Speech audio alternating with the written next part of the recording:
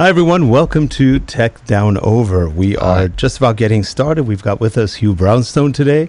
Uh, Mm-hmm. he's a return guest. Uh, we love having him on. He's he's good. Um, and by the way, Hugh, we do love your podcast. You do a great job on them. Um, Mm-hmm. um, and I got to tell you something. This is sort of interesting. Um, I was in a meeting the other day, and this is for a financial uh, project that we're doing on collections and other things. And and the lady goes, "Well, this software is kind of like the elephant and the blind men." And I looked at her and I went, "I'm on the phone." And I said, "Stella, back it up a second. Did you just say blind man and the elephant?" She goes, "He started giggling." Yeah. Uh, you know the parable. She goes, "Oh yes, it's such a good parable." She was from Africa somewhere, I think, and she goes, "That's such a good parable." I go, "That's funny. It's, it's a great one." I thought of you immediately. I go, "Hey, yeah," and it's uh, it's it's funny how we equate the sayings with the people who say them, and Yes. um, and that is a great old parable, and it and it fit because what she was saying in this case is that depending on how you touch this software, it's like a part of an elephant. It's totally different. You don't know which part you're touching until you see the whole thing. And for her to use that in a business meeting, I was floored. I went, "That's beautiful. I love that. It's, it doesn't happen very often." Beautiful. So anyway, all right. So here we go. We are going to start the show recording in three, two, and one. Hi everyone, welcome to Tech Down Over. I'm Rick Zanotti, and we are joined today by Hugh Brownstone, and to the far, well, what is it? To the far left of him. the other side. I was trying to figure out what side am I on here. It's inverted. Uh, we've got our co-host Geoff Blanchard coming in from Australia, and Hugh's coming in. Are you in Pennsylvania today? I am in Pennsylvania Yeah. today. and I'm on the Pacific side near Los Angeles. So here we are, and um, well, we might as well play an intro while we're at it. Here we go.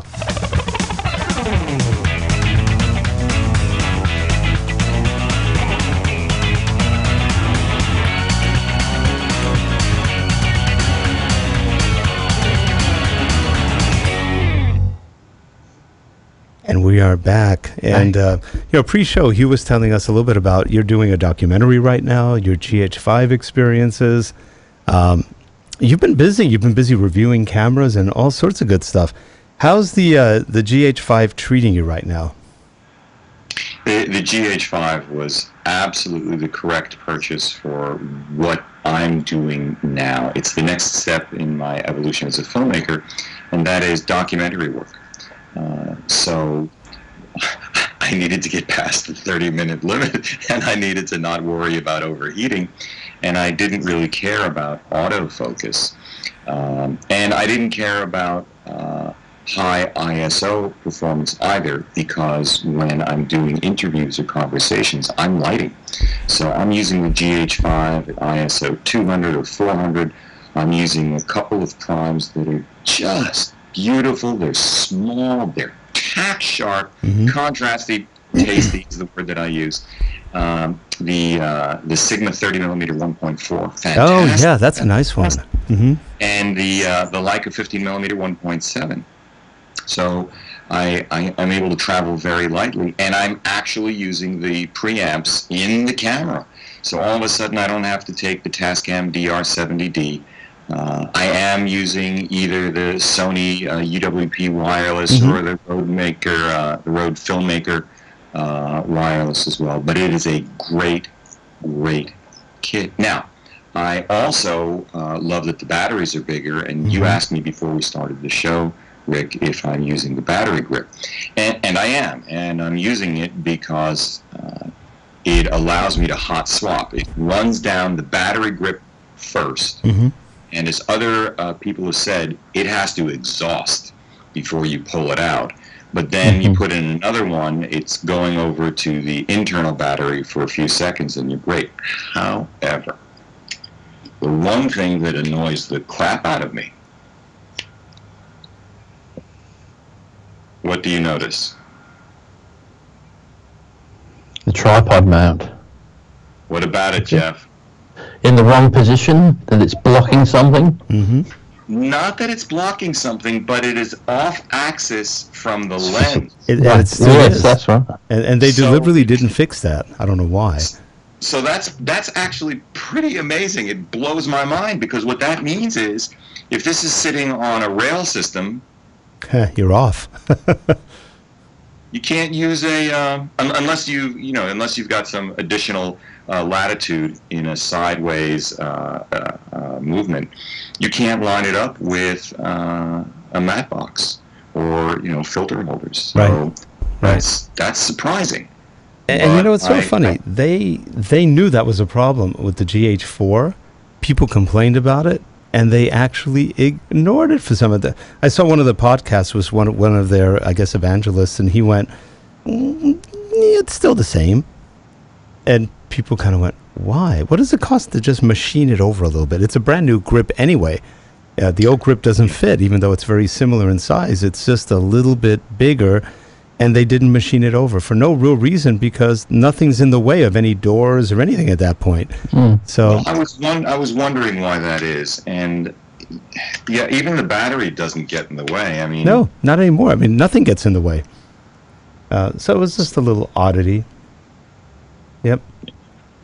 Yep. So, but but that notwithstanding, uh, it is exactly what I expected it to be. It's great for this purpose.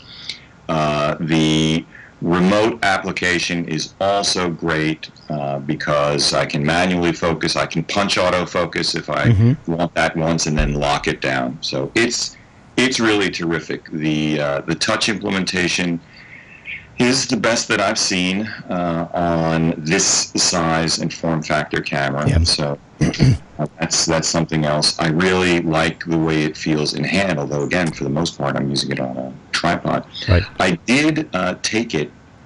No, so so Geoff, you're in Australia, and Rick, you're in California, Mhm. and these are just very hip places. I'm in suburban Philadelphia, which is a very unhip place. With that being said, if you take the time to see wherever you happen to be, you inevitably find amazing things. So, uh, a couple of weeks ago, I found this place in, in Lancaster, Dutch Amish country, roadside America. I tested the GH5. That was cool, by the way. That that looked like a fun place.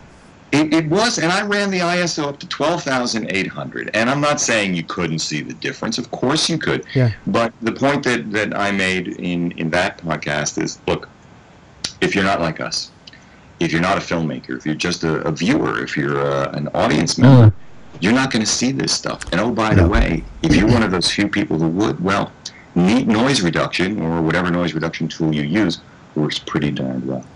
It does, and also, you know, it's funny. I, I'm not a fan of non-noise. Every so often, some of that texture doesn't look badly. Um, oh, yeah. And and what you did in Roadside America was I think I've been close to that place because we had an account years ago in Mount Hope, Ohio, which is not far from Pennsylvania, and it was it's very much Amish country out there. And I was going, that's such a cool place where where you were, and the shots you took and everything. And frankly, those those night shots, or you should let's just say low light shots, they weren't that bad. You know, I didn't even think of the noise. I just thought it looked good. Yeah, it just it was cool. It looked good. And yeah, I guess if you, you really zoom in, you'll go, oh, it's a little noisy, but it didn't seem to affect the shot at all. And um, I, I thought it was neat. And it's a camera that you can use for that. Now, i it's funny. If I bought my little prop with me today, too. Now, so here's my, and I was kidding with Geoff earlier before we got you on. This is my GH5. Now, I've got this decked out in DSLR mode, if you will. I've got the Metabones adapter, the .64 or 7 or whatever it's called here. I've got the Sigma 50 here and the f1.4 Sigma 50 and then the G with the battery grip and stuff I go I'm holding a 5D Mark IV my it's not much different in weight and everything. Um, I have a I have a 5DSR Canon and you know it's a, it's about a half pound heavier but that's not that big a difference from what this is just holding it. And yet when I like you do when I go with the light lenses the the Leica lenses and man they are just amazing. They're sharp. I don't have the 30 millimeter one. I've got the um, I've got the Nocticron the 42.5 and I've got the uh, the 15 millimeter Leica or Leica. Uh, I love that one. The 15 is it's not it's not a stabilized lens but on the GH5 it works a whole lot better than it did on the GH4 and it's a beautiful little lens for it was like a $400 lens and i go this thing is great uh, the nocticron's expensive it's like uh, i think i paid 13 1400 for it I- Is it worth it? Yeah, I think sort of. It's a lot of money for one lens, uh, but it does look beautiful, especially if you're in a slightly lower light situation. I don't shoot in darkness, but in a slightly lower light, the thing's amazing. It just eats light for breakfast, and it's sharp. It is a sharp oh. lens. It's a little bit heavier. It's about twice as heavy as a normal lens. Oh, but Hugh, you know how you're having problems with your Apple? I Yeah. made a mistake the other day. I grabbed my other G. We bought two of them. I grabbed my other one, put it in my low, Lowepro tactical backpack, and I had just finished showing one of the girls here how it had a side pocket and you could just pull it right out. And she went, "Oh, that's really cool." She's a photographer, and she thought that was really neat. Um, and then I went back an hour later to put the camera away, and I go, "Oh, I closed the top." So I opened the top, put it back in, lifted it, no problem. Took it to my office, no problem. And then when it was time to go home, I'm talking to, to my wife and uh, my son-in-law, who happened to be here at the time, and I lifted the thing over my back, and I watched this little black thing fly out of it full speed. Oh, Oh goodness. no! Oh no! I, we couldn't. None of us could react in time because it just flung out fast, bounced three times, and the lens, which is the 60 millimeter uh, f 2.8 to 4, the nice one, grand for that damn lens, sheared right off. Yeah. Sheared off the mount. The mount, it got the mount for the lens stayed on the camera. Camera, nothing. Uh, there was one thing wrong. It, I can't put the Metabones on it. It doesn't seem to recognize it exists. It, so there's something wrong with the mount, but other than that, runs perfectly. Didn't have any dent, no mark, nothing. But the lens sheared off, and I'll tell you, when you see that lens open, it is held by fish wire and three little hooks to the aluminum mount. It was so cheaply. I, for, for a grand, I couldn't believe that's how they hooked it together. Mind you, I shouldn't have dropped it, but seeing the result of the drop, I went, "Oh man, that's it." No wonder it sheared off.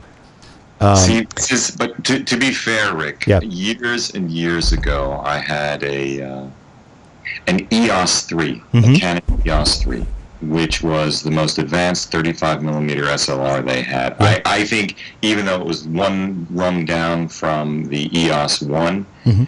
Uh, I think it was more advanced. It had the eye autofocus, and I had the predecessor to the 24 to 70, which was the 28 to 70 2.8L. hmm Uh, I dropped it, and that lens sheared off as well. Oh, and it's it's built like a tank, so I had to send Yeah. it back to Canon, and they, and they got it repaired. Uh, but the thing that's interesting about Micro Four Thirds lenses is they are expensive. I mean, Yeah. I, Nocticron has the image stabilization. As you may recall, Mhm. it was the one lens that met all of my criteria before I bought the Right. GH5. But it is an 85 2.4. That's what it is. that's And, true. and Sony has an 85 1.8 for what is it, 600 bucks? Literally half the price. Which, from uh, what I've seen in, in DxOMark, is every bit as sharp, if not sharper. And the one thing about the Nocticron, and, and you have it, so you would know better well, the than I. I Nocticron's an f a little 1.2. while. It, it's actually a 1.2. Did you find there was any uh, CA? Um, not really. At least I didn't notice it on, on the stuff I've been shooting. Not too much. Frankly, none that I really noticed. That I went, hmm, that looks a little off. No, I'd say it looked pretty clean on the shots I've taken, and most of it's been more daylight. No, I haven't seen any any chromatic aberration at all. Well, cool. May have been just the example. Now, what else? What other lenses are you using? Have you been using the 18 to 35 or the 50 to 100 with that 0.64 metabones? Mm, yes, I've got now. It works with the Sigma, so I've been using the 50, the 18 to 35. Uh, I have a Sigma. Uh, what is it? 24 to 105. I think I can't remember what it was. Maybe it, how I think it's 24 to 104 or one, or maybe I'm wrong. Maybe it's 20 to 124. I can't remember. Uh, that's one of the, the the big zooms.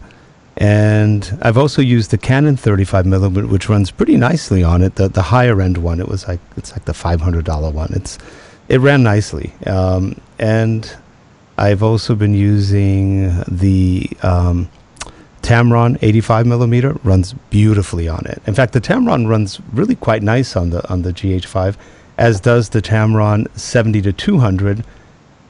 I think it runs probably nicer than the I think 40 to 150 Olympus, which I have also. The the Tamron's nice. I, I can't complain about that one. 7200 is a clean, nice lens, very stable. Uh, I can shoot without without a tripod on it at a distance, and there's no movement, which which actually shocks me. But it's pretty good.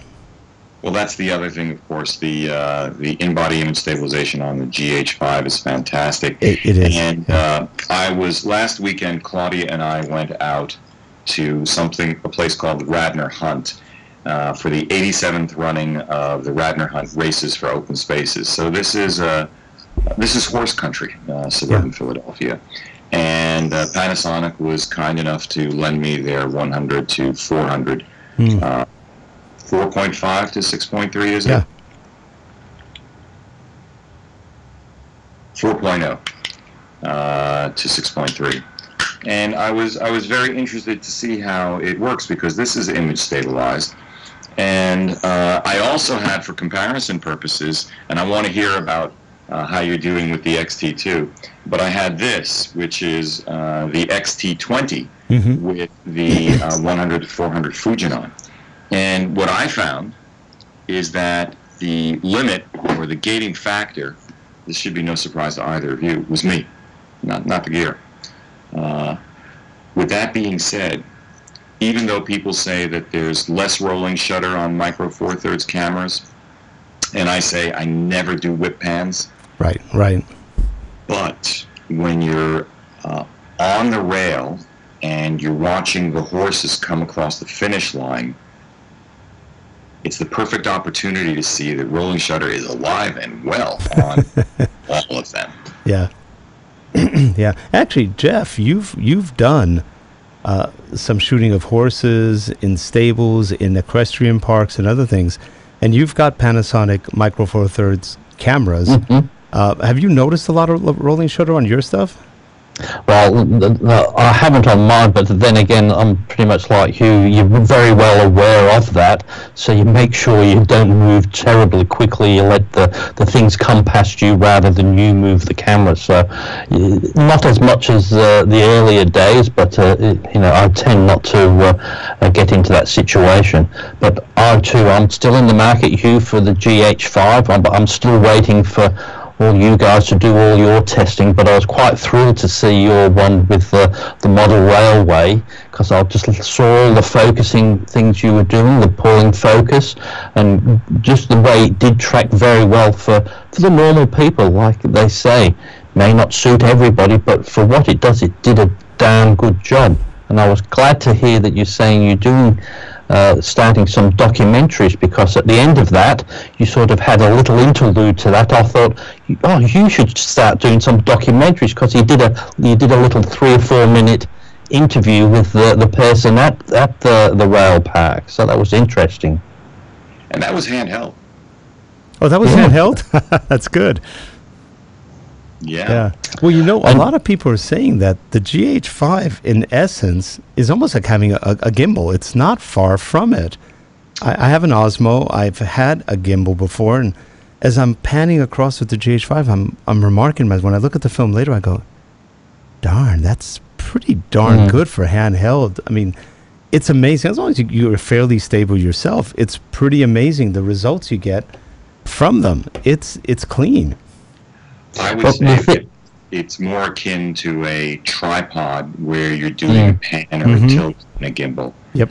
Uh, because my experience is like you, Rick. I can go like this, Yeah. and a casual uh, observer may not even recognize that I'm using uh, just my hands.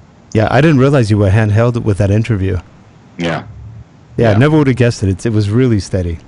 Yeah. So, so that that was fantastic. And by the way, that was with uh, a non-image stabilized lens. Once again, it was the uh, 30 millimeter 1.4 Sigma.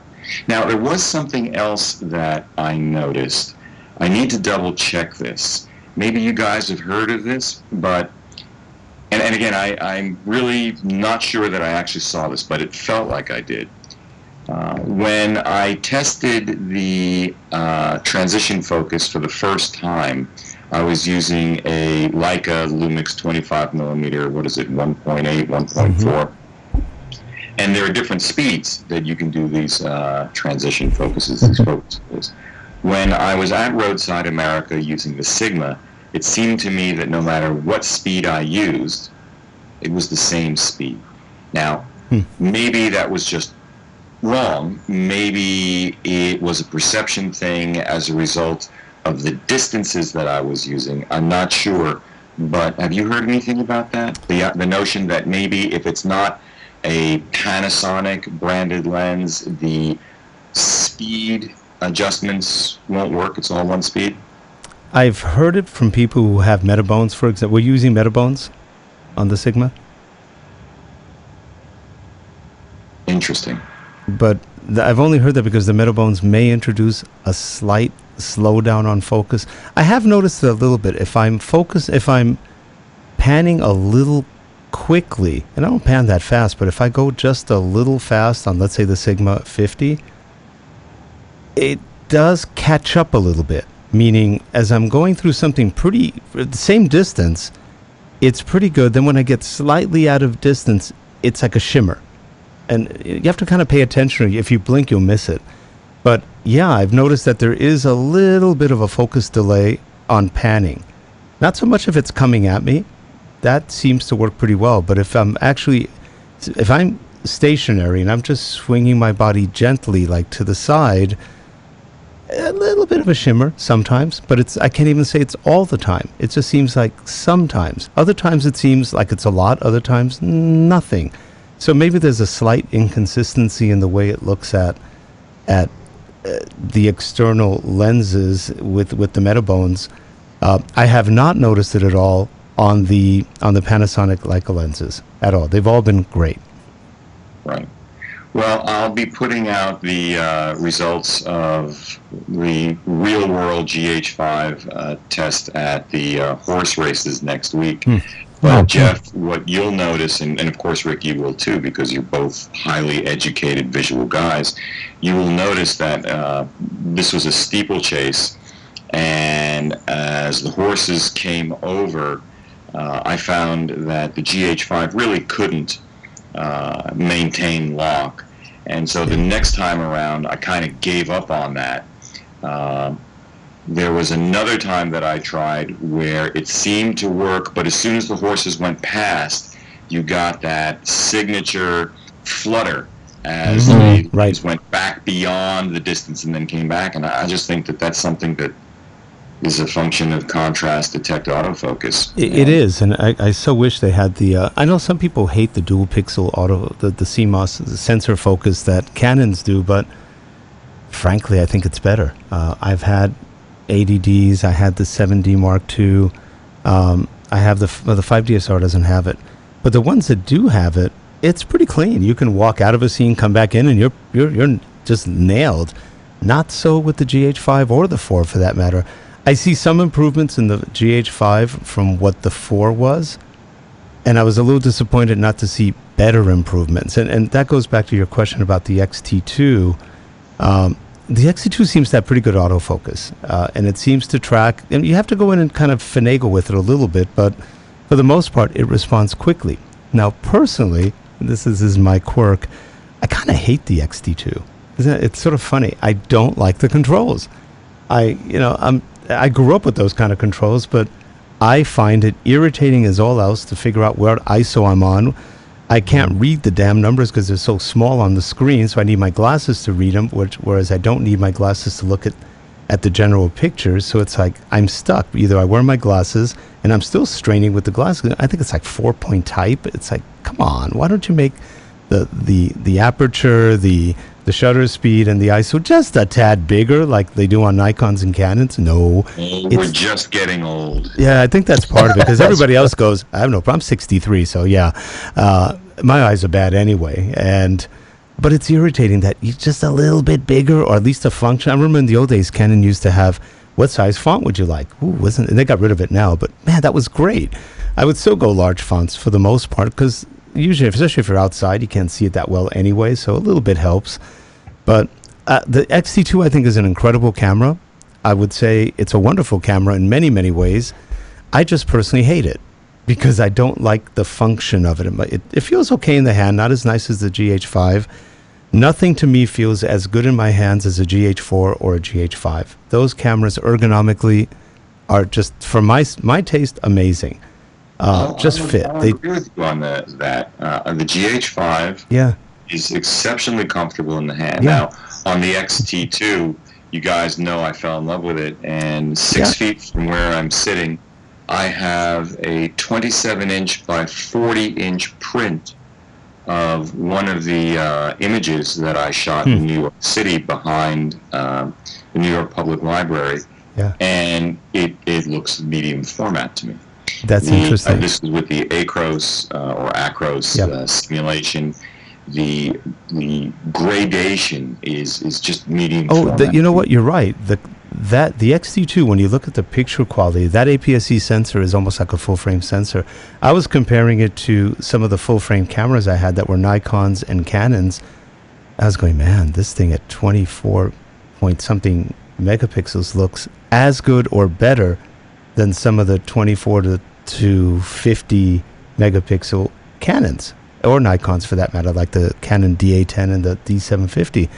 Though those were really good too. It's amazing the quality of pictures it gets. I just don't like it from the control point of view. Like, where's my sh- what mm. shutter am I at? And oh, wait a minute, now I'm in a different part of shutter. Now I'm on different settings, and I've totally lost myself in the middle of a shot. Rather than being able to just feel it, I can't feel it on that camera. Um, so those are just it's a, it's a quirk. You know, I do from a camera point of view, I agree it's beautiful, and their new medium format camera for the price is pretty darn nice. It's I think it was it's forty five hundred I think, um, or five thousand. That's not bad for medium format with with accessories. It's it's nice. I've seen some of the pictures people are taking. They're gorgeous, um, and it's not much bigger than the XT2, frankly, just a little bit. Yeah, that's right. I I debate in my infinite spare time, doing my mind games, uh, as to the value of a medium format digital camera. Um, the you know the hybrid like the GH5 or the Fuji uh, XT2, the Sony A6300. I, I think. I mean, I wouldn't be surprised if the sensor in the Sony A6300 and the one in the uh, Fuji XT2 are the same and just have different processing engines. But uh, I keep asking myself, would I spend $4,500 uh, on the uh, GFX 50S, if, if that's what it is, or $9,000 for a Hasselblad X1D body? Yeah. And Clearly, I'm not. I'm not the target audience. No, Yeah. I wouldn't, because when you're filmmaking, you need that money for other things Mhm. like lights. Yeah, that's that's a, that's a good point. And nobody talks about lights. Nobody talks about lighting. Uh, I know a lot of photographers who say, "I don't really care what camera I have as long as my lighting's good," and there's a lot of truth in that. Well, there, there is, and uh, I've gone through a, a number of lights over the last three years. I started with an Arri SoftBank 4 kit, Mhm. which was the size of the trunk I used to bring up to summer camp every year. Uh, and it had five hot lights. Yeah, The last time I used it, I practically melted the person that I was uh, shooting and cut over to one by LEDs uh, from no name manufacturers, but really uh, had a wake up call with the little Aputure Amaran Mm. HR672C, which was amazing. yeah, they're ama- they are said- amazing. Yeah, but with that being said, the, all of these panels uh, are very limited as far as what they can do with modifiers. So when Aputure came out with the 120 single Mhm. point uh, uh, light with the Bowens mount, that was really interesting. And that's the light that I use uh, right now uh, in this conversation, and that I use all the time you now. know that looks really good. I'm And, and is that one that can go flood or spot? Uh, it, well, it's not. Uh, you can actually attach a Fresnel to it. That's it. Yeah. Okay. Uh, but what I've got is their uh, light dome, and it's a two-stage uh, diffuser with silvered interior. Nice. It's three feet across. Well, you know, and it's nice because um, and I'm looking at your shot right now, and and you're perfectly lit, and yet there's that soft softness as it goes out from you to the sides, which gives it a very cinema look. oh yeah, I love it. It is It is absolutely my favorite light. The one thing that I wish I'd had during this shoot yesterday was the daylight version of it. I Right. used tungsten and I now they have a, they have a new one that just came out that does both daylight and tungsten. That's that just came out, I think. Well, so they they have a 300 watt uh, that's just coming out, and that's very very tasty to me. The tungsten version of this lamp is also very tasty to Mhm. me because you know when you're doing on location interviews, you're typically going to have mixed lighting. You've got Yep. daylight coming in through Mhm. the window, and so we were able to navigate around that. But I don't know if you can see it from this shot. Um, yeah, you can. You see the lights right in front of me over there? Mhm. Those small ones, those are the blenders, the Lowel Blenders. And they do just that. They've got, they can go from 3200 to I think, I don't know if they go up to 6000, but definitely 5600. And Nice. they're nice because you can blend anything in between. They fit almost, and they're small, no heat. Uh, they come with 20 foot power cords, so they're very nice to work with and just great lights. We've used them on location. I use them in the studio now as studio lights because they give a nice kind of light. And um, and then I use one of them as a hair light. Now, it's kind of an expensive hair light. These are like 1500, 1500 for the set of three. especially if you're talking about lumens per strand. Yeah, yeah. And these aren't well. They are bright, but they don't. They don't cover as much. In other words, when they bright, they just burn like crazy. They burn everything out. So you kind of have a, a limited range of how far you can go before you burn up. Plus, they're close to me. They're only about f- four feet away, maybe five feet on that one. So they're not too far. Uh, if I bring them up, I'll, I'll be standing like this, squinting. You can't see anything, and um, they're they're very they're just strong.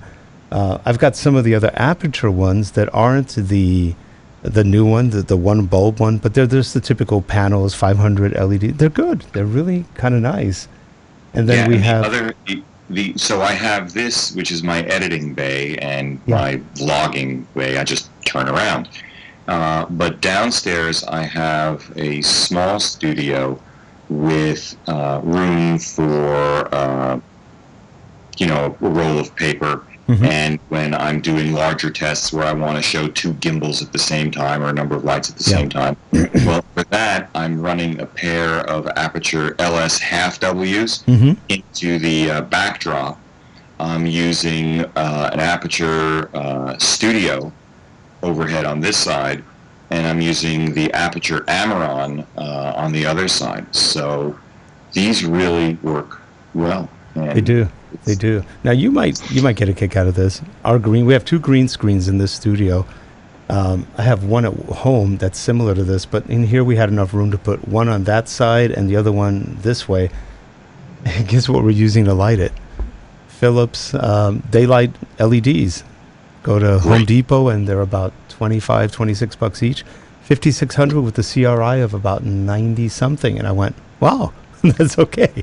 These are That's just fantastic. it's amazing. The old days, four or five years ago, the LEDs sucked. They were all yellow, dingy, not really good. And since then, they've gotten so much better. But we just put up uh, some track lighting, put the LEDs in, and, and it's lighting the green screen pretty well. Uh, Oh, yeah, It's actually going right through me right now because I forgot I was wearing slight green on my shirt today, just a little bit. Oh yeah, that's right. I didn't, you know, when I got here, my wife goes, you know, you are partially transparent. I go, okay, well, no, no hiding here. We are transparent. So, The Invisible. Man. yep, it's, it's some funny. Hugh, just before well, before we we go, uh, I saw you did a review on the A uh, the Sony A99. Rick and I have been quite interested in that. And No, that was the A9, know your wasn't it? thoughts on that? A9, right? Not the A9, not 99. A, is it A9? I've done both. So uh, What's on the on the A9, um, Mhm. what I what I said was that the A9 is clearly the best hybrid that Sony has ever done. Uh, the ergonomics are improved, but the way to think about it is it's still an A7 uh, body, more or less. I mean, the difference between the A9 and the A7 uh, S2 or A7 R2 is kind of the difference between the 6000 and the 6300. It's a it's a little bit more beefed up, but it's basically uh, you wouldn't mistake it for being anything other than than that that lineage.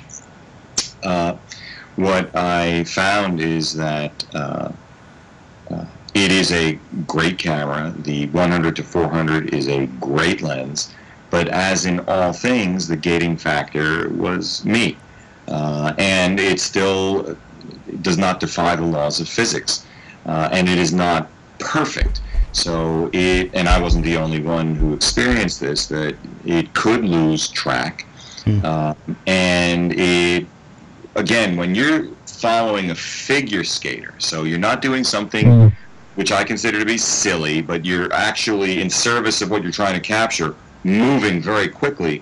Well, in that case, the rolling shutter is apparent uh, and can be a bit annoying. But I, I like the addition of another knob on top. The screen, the EVF is beautiful. Hmm. Uh, and it's going to make a lot of people very happy. Again, for me though, Geoff, uh, that's not my work. Uh, I'm not a sports photographer. But I, I would say that Sony was very, very sharp in the way that they positioned this and the way that they rolled it out. I mean, basically, they went straight at the heart of where DSLRs are supposed to be strong and said, oh, decisive moment, you've been missing that ever since you used DSLRs because at the moment that it is decisive, uh, there's a blackout. So there was mm. no blackout on the A9, but hey, there's no blackout when you're in electronic shutter mode with the GH5 or the uh, XT2. No, it's XT2. really they're really clean. You can't tell.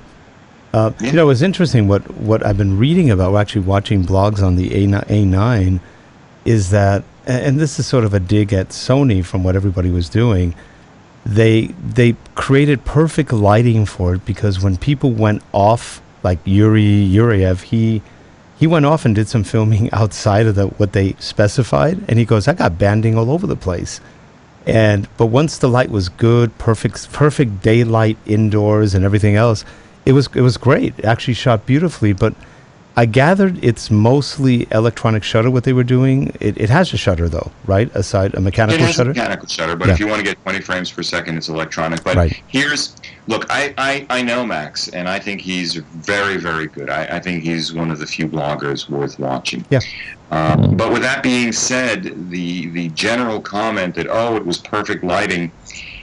On the one hand, it's a legitimate uh, observation, but on the other hand, it isn't because if you're a professional sports shooter, what you think it's not lit to pieces at a stadium, yeah, right? the NBA uh, or the NFL, of course they're lit to the nth degree because they have to be uh, covered by television mm-hmm. broadcast cameras. So it's a it's actually a non sequitur. It's yep. a difference without a meaning.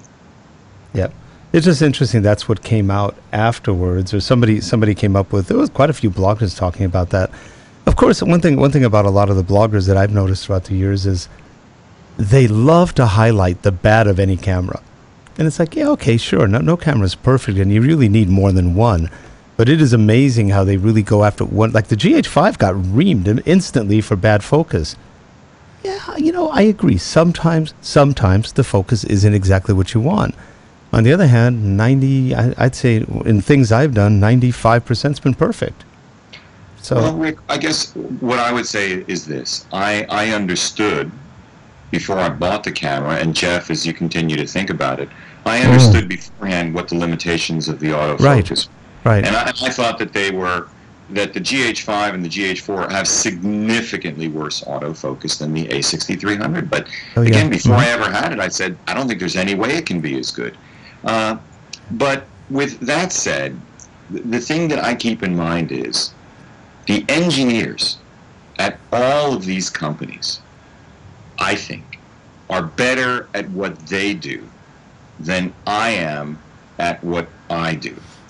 And it's, uh, I, don't know exactly what word I want to use, but I, I can get annoyed if a camera company misleads yeah. Uh, I think it is uh, a mistake on the part of Panasonic to bury in its manual that autofocus. They actually have a line that says autofocus will not work with 4K. I think that will not work with 4K. that's what it says. And and Max was the one who found that too. I've shot with 4K without much of an issue. Um, Well, so so I have too, but they, Hmm. that was in there. yeah, just in And- case. Just in case. up front. Um, Yeah. And then with all of them, with all of them, the engineering is amazing. It is. The real issue is marketing. And when, uh, and even down to Tony Northrup has done a, a number of really excellent, excellent videos on ISO and equivalence, both in terms of crop factor and uh, aperture. And when uh, a camera manufacturer says, you know, I've got a uh, 42.5 millimeter 1.2 Nocticron, well, technically it is 1.2 but no one's correcting people when they say, "Oh, it's like the equivalent of an 85 1.2." No, it's not. As we said earlier, it's the equivalent of an 85 2.4 from the perspective of depth of field. True. That is true. Yeah. Yeah, that's just anyway. Geoff, back to, to you. I think that if you're shooting horses where you're not following them on a racetrack, um, Mhm. where you are not trying to uh, use a gimbal and track someone like Claudia does, walking backwards with me on the high line, that the GH5 is, is really an exceptional camera. And from where I sit, truly, now that I have it, it confirms what, what I thought earlier when I was still thinking about it, uh, confirms my assessment that uh, I would have to pay almost $6,000 uh, Yeah. in, in other uh, camera lines to get the combination of video features that I Mhm. need for documentary. Yeah, it's true. So, It's uh, you know, it's funny if if there's only one real manufacturer who probably, well, actually two really. If you look at Nikon and Canon, especially Canon, Canon seems to compete only against itself and badly, and Nikon is out there going, "Wait, we have a new DSLR. Anybody want to look at it?" Um, and they're both sort of odd. They don't have marketing departments that make a lot of sense. You've got Sony, which everybody bashes Sony. I, I don't know why. I actually had a Sony, which I didn't mind. I just it was a bridge camera. I liked it, but it didn't fit my fit my needs at the moment. I just eh, gave it to a friend as a gift, and he was happy. Um, but Sony makes some cool stuff, and people forget Sony makes almost every sensor in the world, save for Canon and probably Sigma. Everybody else is using Sony sen- uh, sensors.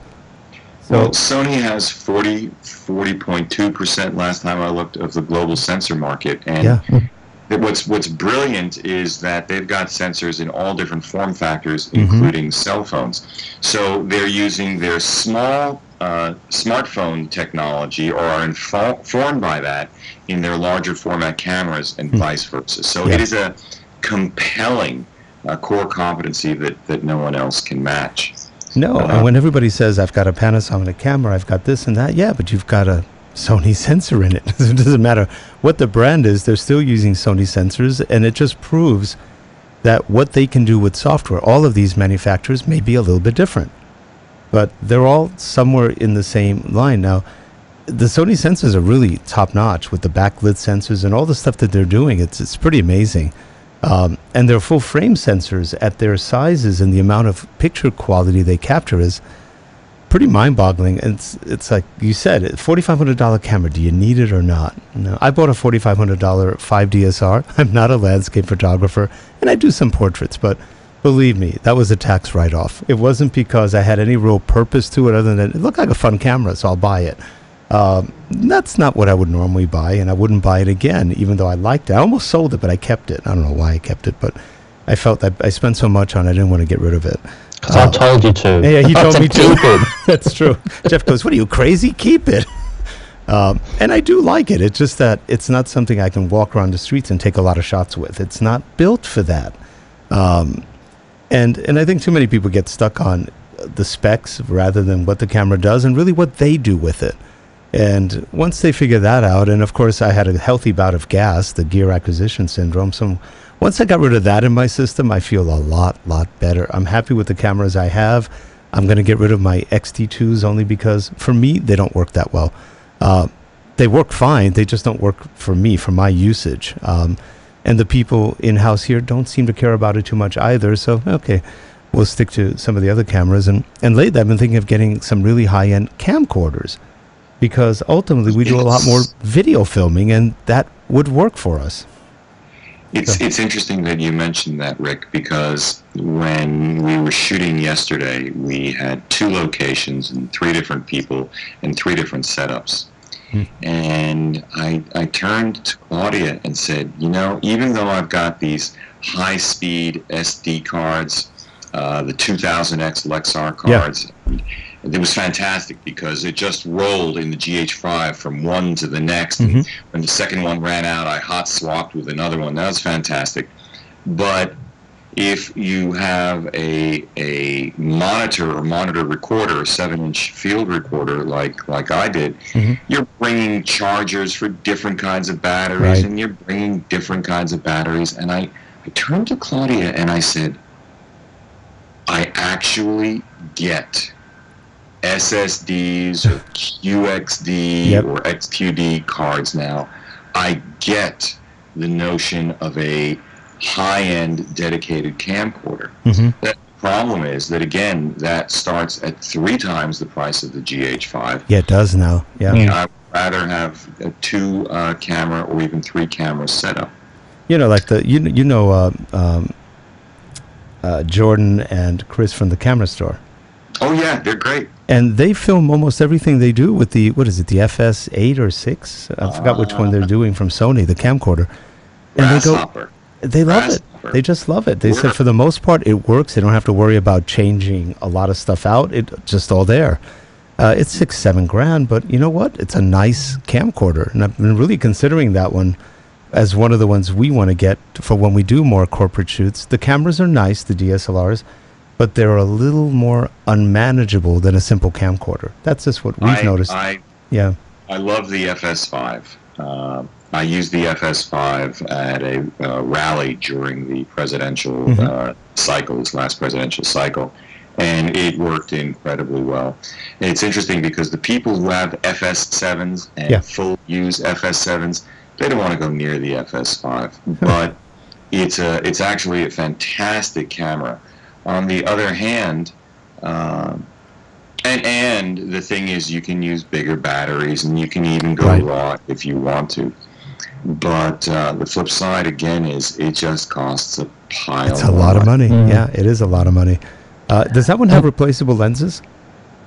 Yes, it's It does. interchangeable. Yeah, interchangeable. Which, which I loved because uh, in that particular live event, I just used the 18 to 105, and the software correction was good enough. This was always intended to be on Facebook. Absolutely fine. Mm-hmm. Yeah. But if it's your own gear for your personal work, Mm-hmm. uh, that 18 to 105 doesn't do it for me. On the other hand, you can then use any of the E-mount lenses, and that's fantastic. So the 18 to 105 was that a Sony lens? That that's the 18 to 105 PZ. It is a Sony lens, Okay.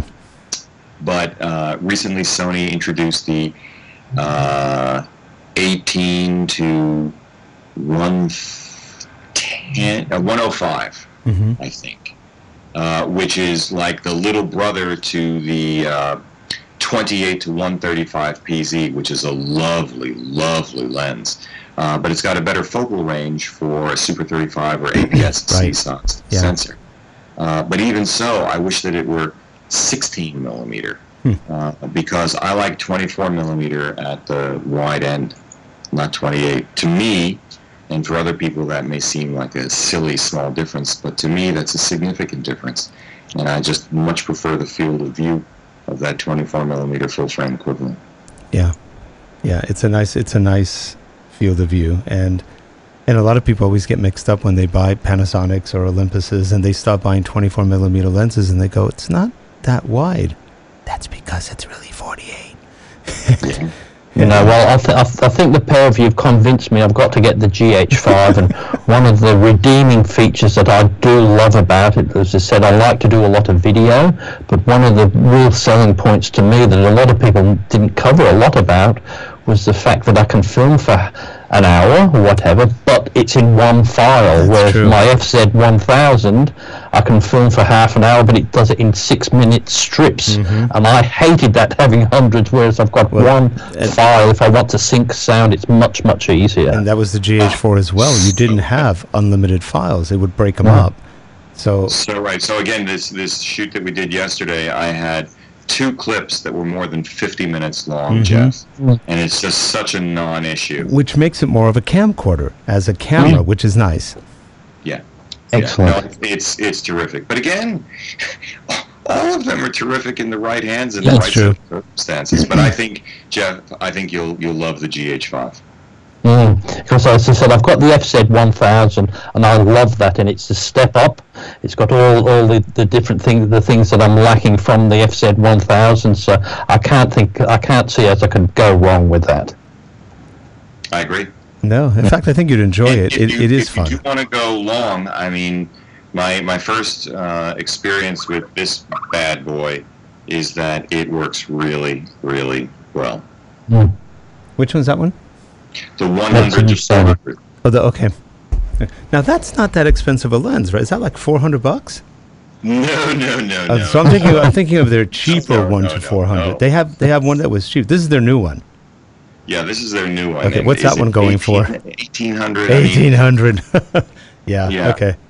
Yeah. They have like a four hundred dollar version of that. It's nowhere near as good. The glass, I think that's so-so glass from what I heard. But yeah, this is their new one, which is just getting very good reviews from people. And It's so small. really, Yeah. Now, with that being said, 2.8 is a big difference when you're shooting. oh yeah, yeah, Yeah. yeah. By the way, when I when I broke my um, twelve to sixty millimeter uh, lens, that the repair cost me four hundred and nine bucks with shipping and tax included, and that was I didn't think it was too bad. It was I, I paid nine fifty for the lens, and um, they basically charged it. They said it needed a full lens kit. That means the whole inside got replaced. Uh, I have a feeling they're probably sending me a brand new lens and just they fix the other one later because, in essence, all of the inside got replaced, and because that's about what the parts would cost at what they would sell it as as probably retail. Because retail, you figure the the the resellers are probably getting it for 450 500 and then they sell it for 950 so the 370 of parts was probably to them 160 70 and that's how they make their money so it's basically buying the lens wholesale from them again And, and Rick, let's let's face it, you didn't actually drop your camera, you actually threw it. i threw it i threw it with a vengeance. with the bag, it, it actually threw it, so it wasn't just a drop; it was sort of it really oh flew. my gosh yeah it. i mean it literally flew about five feet in the air as i'm watching it going huh and, and couldn't get it in time You must have had your heart in your throat. Oh, I tell you, for that moment, I went, my eyes opened. I have never in my life dropped a camera or a lens. I mean, I've lived a pretty long life. I've had cameras for a long time. And I went, I can't believe. Now, I didn't directly drop it, my bag dropped it. but still, um, it was frustrating. It's like, I can't believe that just happened.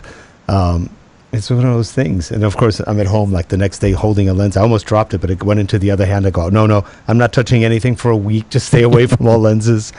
Um, no, that really discombobulated me. I go, I can't believe I just went had a flying disaster. Uh, and we've done a lot of video and photo shooting and never had any breaks. We had a Manfrotto tripod break once, but it was really a piece of junk Manfrotto. And we went back to the retailer and, and they, they swapped it on us. They go, sorry, you got a bad one.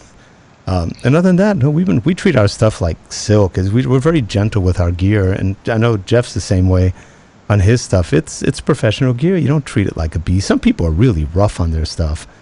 Yeah. Um, I don't get it. You spend that much money and you just treat it badly. It makes no sense. No, it doesn't. And the fact is, the 12 to 60 is actually a lovely. It is. lovely I liked it. That's why I had it fixed. I, at first, my wife goes, "Do you really need to get it fixed?" Oh yeah. I mean, I do. and she's going, "Didn't you just spend a thousand? Uh-huh. Um, It's great focal range.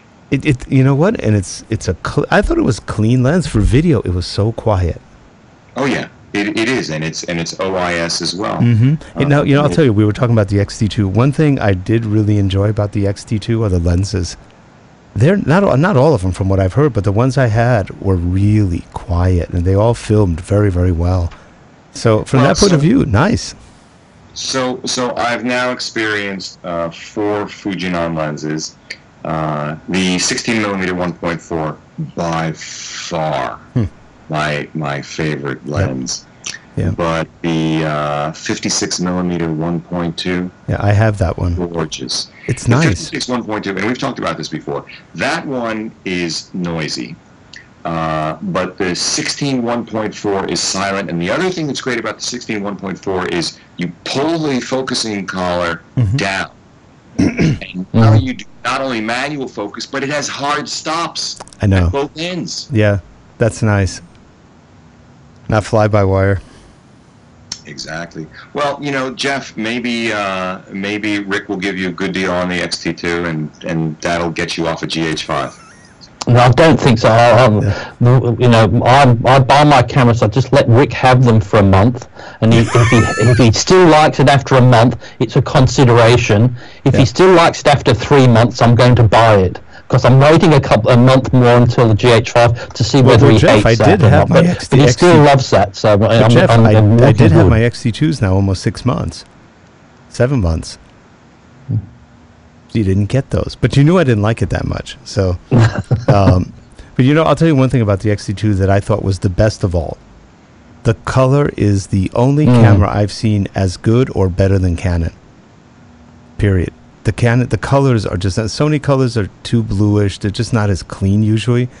Uh, Panasonic isn't all that clean. They're not as the skin tones aren't as good, but Canon and even Nikon's not as good as Canon on color. Uh, but the Fuji X-T2 and, and actually I heard all Fujis are like that. The colors are amazing on them, uh, and I guess that's their history with film, making just incredible film. And wow, there's stuff. When I started taking pictures of people and some videos, I was looking at it going, wow, did I just take that with a Canon or hmm? It really looked that good. It, that's, Geoff, are you taking bets on whether or not Rick really sells them? well, I haven't sold them sells- yet. but but I probably will. I did find the boxes the other day. I have everything ready to go, but I haven't sold them and I haven't packed them yet. But we'll see. Um, I may sell them just to get more gear. So I can't have enough gear.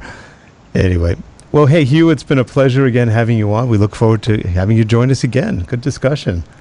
Well, thanks, guys. It is a pleasure for me Thank too. you. Thanks for having me. Well, you know, what, we're all lonely. I think we're all lonely. We always play with our gear so much, and when we get to play with other people who play with gear, it's fun. So it's a good time. Looking forward one of these days we can meet in person. That would be real fun. That would be. So, what do you think? Photokina 2018? That's the one in Europe, right? Yes. Probably. Oh, 2018, maybe. Maybe Hmm. that might be interesting. Um, Yes, we should should make a point of doing something like that. That would be great. that would be fun. I missed NAB. Did you go to NAB? Yes, he did. I- Oh, you did. I- you I you were did. out there. Yeah, I wanted to, and this year we didn't. And uh, I've never been to NAB. I've sent people there, but I've never gone myself. And I don't like the huge shows. I tend to just feel like uh, too crowded. Too. I used to go to. I'll give you some history. I used to go to Comdex all the time, and that was on two hundred thousand people, and you couldn't get a bus. You couldn't get a cab. It was just a line after line after. I hated it. And so that kind of got me off of big shows if I can avoid them. But NAB looks fun. It just really does look fun. Well, and what's interesting is you bump into all kinds of people. Mm, yeah, that's true. A pile of bloggers that I know. Uh, I actually had meals with, with several people I know, and it was really nice. This is the uh, second time now that people have walked up and said, "Hey, Hugh," and I, I swear I'm going senile because I'm going. But no, it, it's just people who, who watch the channel. Yeah. They're really nice and knowledgeable, and it's just lovely. It's- uh, it's and, fun. and proves It's to fun. me, anyway, once again, that in the end, it is all about the people. Yeah, and one thing we love about your channel and, and the work you do is you have little twists to what you do. And I love the way you weave your stories. Yes. Because you're always weaving the story into the. I, I, I don't know. I just really enjoy it. Have a lot of fun with what you do and the way you do it. And uh, it's different. And that's what makes it more fun. That's I Mm. think that you're one of the few guys I can watch who's got a close up on himself for five minutes and I'm still watching. So that's, you know, hey, that's skill. That is skill. I, so back to the Sony A9, I, I did this uh, losing sleep over the A9 or whatever, and it really I had a rough night. I had insomnia. I was up in New York at the Sony shooting event. So I did that little homage to uh, Michael Mann and Miami Vice and Yep. Lost in Translation and her. And then I got up to do the A roll and I used the 15 millimeter. And I can't tell you how many people are commenting, dude, step back. You're just too close. And all I could do is write back, yeah, you're right. But it was good. Thanks. Anyway, Hugh, well, you have a great one. Have a good Memorial Day weekend. It's a long one for us, so Yeah, Uh, you too, guys. that's always good. And uh, Geoff, we'll see you next week. And next week we've got another one of our joint friends. We've got Curtis Judd back on. Um, Oh, Curtis is a I love Curtis. guy. He's a And he's I- just he's a wonderful guy. He lives out. In, we should all meet him in Park City. That's a gorgeous place to go. Yeah, and I, I actually said to Curtis, I had just seen uh, some review that he had done, and all I remembered is that the audio was out. Oh, he's always got good audio. He he he's like us. He loves audio gear. We've got all the compressors, limiters, gates, and you know we've got just here. I've got a lot of gear, and he's the same way. He's got all the good gear, and Oh. uh, even when he does video recordings, he's got some nice stuff. And it, it's fun because not a lot of the video guys like audio that much. And audio's fun. Without the audio, the video is only half good. So Yeah, I, I agree, and and he's just a really really nice guy. yeah, have you met him in Mhm. person? I have not yet met him in Oh yeah, person. oh yeah, we know each other. Okay. Uh, I, I hold him in very high regard. Um, we bumped into each other uh, on the show floor, actually. Oh, how funny! And he's a tall guy. He's like six seven, I think. So he's, he's very tall. my son-in-law is six five, and. I'm looking up at him, and I'm six two, and feeling short with all these guys. Going, wow, you know, what happened? To, where did the forest come from? Um, Yeah. But they're they're just good guys. Curtis And is just, uh, and his brother. His brother films too. Really good folks. Yeah.